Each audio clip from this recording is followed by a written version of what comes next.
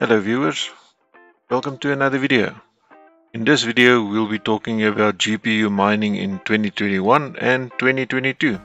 We will look at how you should decide which GPUs to buy going forward using a specific case study from one of my subscribers. So far GPU mining profitability in 2021 was great and is currently still very good. Just for reference, it is currently 16 July 2021. Just so the cyborgs who are watching this video in Stardate 2057 also has some context. Remember to tick the like button below this video so it gets suggested to more viewers. I have grouped some of the more popular questions all together seeing as they all have the same answer and explanation to clarify them. So stay tuned right to the end so you will have all the info you need to make up your own mind. You might also have one of one or all of these following seven questions. Number one, is there a mining future after Ethereum 2.0? Number two, what will happen to mining after Ethereum 2.0? Number three, will we be mining after Ethereum 2.0? Number four, what to mine after Ethereum? Number five, will mining be profitable after Ethereum 2.0? Number six, what will happen to GPU miners after Ethereum 2.0? And lastly, number 7, will mining end after Ethereum 2.0? Whether you are a current or prospective GPU miner, these are all questions you should take into account. And everyone wants to know if mining will still be profitable after Ethereum 2.0. All this depends on what you are planning to mine and which GPUs you should use or buy to mine with after Ethereum 2.0. If you currently have stock of GPUs which you are using to mine with, you should also check their future profitability on the other algorithms apart from Ethereum. And if you are planning to start fresh, then you should make sure you do the homework before deciding to buy and what to buy. Here is the case study from one of my subscribers. The specific subscriber informed me that he has a couple of options available to buy. The first one is a 1660 Super second one would be the 3060 the third one would be the 3060 Ti and the fourth one would be the 3070 now specifically for this subscriber and everyone else there out there that has these type of questions I would recommend that you go onto a specific website called what to mine which you have on the right hand side of your screen over here. Now how this website works is over here you will see there's a whole bunch of GPUs that they have listed over here. And there you would just put in there one or two or however many of these specific GPUs you are interested in or already have. And then if you check this box either make it green the Nvidia ones are green the AMD ones turn red. So if it's ticked green then this box is being used in the calculations below if it is grayed out, then it's not being used anywhere. So for the first one, the subscriber said that he could get a 1660 Super for 430 euros. And you can also get a 3060 standard one for 630 euros, a 3060 Ti for 730 euros, and a 3070 for 870 euros. So what I did is I went onto this specific website just to see what algorithms would be profitable as soon as Ethereum goes to 2.0. So then for this specific one, we would scroll down and see right below those ones, right below Ethereum, the most profitable currently would be Ravencoin. And Ravencoin would currently deliver 89 cents of the electricity if the electricity is 0.15. So over here you would put in your cost, your local cost. For me it is 0.15. For you it might be 0.07 or 0.11. Whatever your local cost for electricity is. Obviously if you're running on solar then you don't have any electricity cost which is best for you.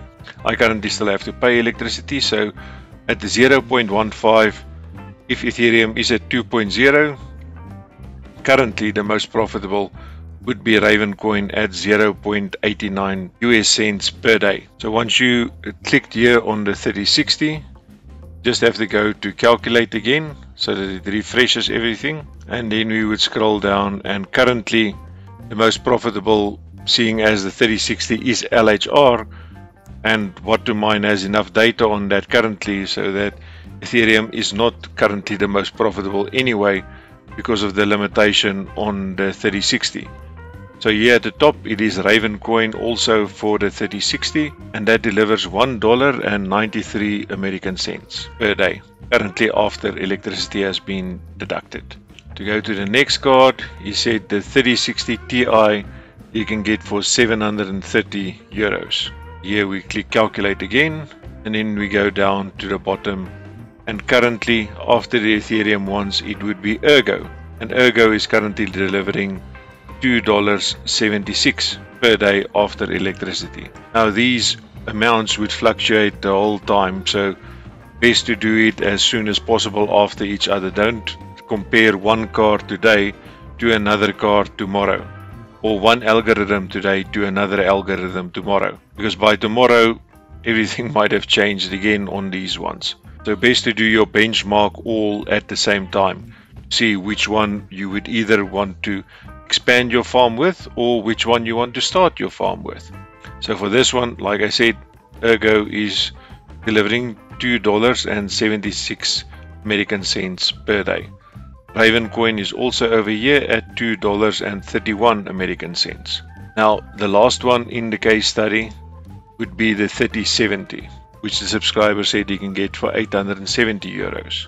So over here, the most profitable after Ethereum would also be Ergo and it delivers uh, almost exactly the same amount. So therefore you would also know that your 3060 Ti and your 3070 perform roughly the same. So what you would also want to take into account, Ergo is under the Autolykos algorithm and that would give you 155 megahashes per second at 130 watts. Now if we were looking at Ravencoin, Ravencoin would be under the KawPow algorithm and that one for this specific card would deliver 27.6 megahashes per second at 180 watts. So there you can see Ravencoin takes more wattage than what Ergo would take. You also need to take that into account with the amount of wattage that you are going to pull with your mine. Now if you want to go and see how long it would take you to get a return on your investment, so let's take this one for instance. We're going to click on Ergo. And over here, we would see that we can put in here a hardware cost. This is the 3070 that we're currently looking at. And the 3070 was 870 euros, which is currently at, the, at this time 1028 US dollars. And then we would click calculate and over here it says you would have your break even at 373 days. Just to give you an idea of how long it would take you to recoup that money. Now with the 3070 and the 3060 Ti delivering almost exactly the same performance on Ergo, it would be a good idea to at the moment not really take your 3070 because your 3060 is 730 euros for this specific subscriber. Let's just click calculate so all the data populates again. So let's go over to Ergo again. So we can put in the hardware cost here, which is 730 euros, which is currently 863 US dollars. And then we would calculate, there you see over here, it is 313 days for break even. So currently at the time of making this specific video, the 3060 Ti would be the most lucrative specific card to have after Ethereum 2.0 if Ergo stays the most popular. So the, the best way you can do this is to try and sort of predict the future is you have to look at what is currently available to you. So currently if you have a choice between these four graphics cards I would say the biggest return on investment or the quickest return on investment would be your 3060 Ti.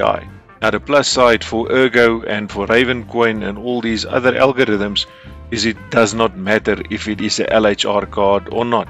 Obviously, if you can get a card which is not LHR at the moment, you would still, until Ethereum goes to 2.0, you would still mainly mine Ethereum for as long as possible. And then as soon as it goes to 2.0, so it switches to proof of stake, you would switch over to Ergo or whichever is the most profitable at that point in time, and you would mine further on that card. So in short, just for the case study results, yes, it is still profitable currently to mine, even if you don't want to mine Ethereum currently, and it should still be profitable to keep on mining after Ethereum 2.0, taking all of this into account. Because if you look at, for instance, 313 days as a return on your investment, yes, it would still be profitable and more lucrative than putting your money into the bank because no bank account is going to give you 100% interest rate on 313 days and after that it is just straight profit.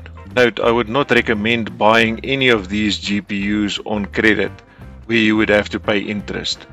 You should only be spending money that you can afford to lose.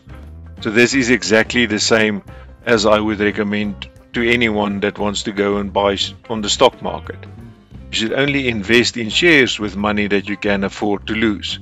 However, I prefer GPU mining, which is also why I, I would recommend GPU mining as a form of passive income. On the left hand side of the screen you can see my current mine that is running in the background where my 3060 Ti which is not a LHR one is currently running at 60 megahashes per second and is running at uh, 52 degrees Celsius or 113 watts. I also have two 1660 Ti's which are delivering above 30 megahashes per second and roughly 43 degrees Celsius at 68 and 69 watts. Then my 1660 Supers that I have, the first two that I bought are doing 31.54 and 31.53 megahashes per second at 41 and 42 degrees Celsius for 65 watts and 56 watts. And this one that's running at 56, 55 watts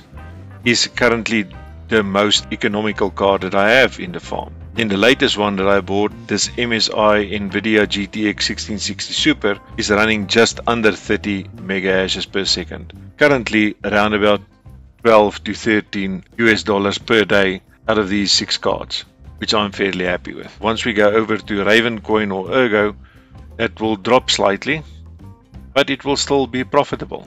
It would still be more profitable than putting your money in the bank or putting your money under the mattress. I'm quite happy with this current sideline passive income hobby that I'm running. And I'm still looking for other cards, but I'm not pressed for any new cards as soon as the prices of the GPUs drop a bit further, then I might look at expanding the current farm. So just to get back to all the questions, is there a mining future after Ethereum 2.0?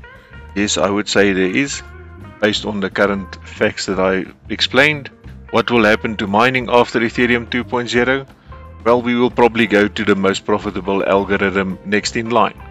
Whether it is Ergo or Ravencoin, We'll just have to wait and see, but there will definitely be one that would be the more profitable that most of most miners would move to. Will we be mining after Ethereum 2.0? Yes, we definitely will. What to mine after Ethereum? Well, it would depend on which one is the most profitable and obviously it depends on which cards that you have. Because as I showed you, two of the four cards, cards it's more profitable to do Ravencoin. The other two of the four cards it's more profitable to do Ergo. So you should not go blindly into just choosing anything and continuing with that. You should make sure that you run it on the most profitable algorithm. Will mining be profitable after Ethereum 2.0? Yes, not mining on Ethereum, but mining other algorithms will be profitable. What will happen to GPU miners after Ethereum 2.0? Well, we will switch to another algorithm and just mine that one. Will mining end after Ethereum 2.0? Well, unfortunately for all the gamers watching this video, no, mining will not end after Ethereum 2.0. It will just switch to the next best algorithm. And as long, as long as it may remains more profitable in putting your money into a bank, I'm sure that the GPU shortage will probably not be any better than what it currently is at the moment. So I hope that answers most of your questions. Like the video down below so it gets shared with more viewers. And remember to subscribe for future updates. Thank you very much for your time. Cheers.